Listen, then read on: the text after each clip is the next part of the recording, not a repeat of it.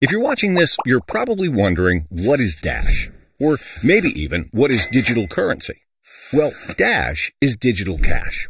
Money exchanged on a highly secure, open source peer to peer network, much like Bitcoin. But unlike Bitcoin, it's really the first form of digital cash that works just like physical cash. Your money isn't held in a central banking organization. Instead, you hold your money in a safe and easy way, maintaining full control. This means that you have total privacy when it comes to your purchases. Your transactions can't be tracked by any organization or curious third parties. Instead, your information is private. Another great benefit is that transactions can occur instantaneously. There's no wait or lag. Money changes hands right away, just like handing over physical cash when making a purchase. And because Dash is truly fungible, it's the first real working form of true digital cash. That means Dash really is private, instantaneous, and secure. With Dash, fees are extremely low or completely non-existent.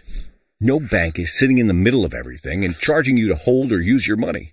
Instead, you've got the power. Anyone can use Dash anywhere in the world at any time.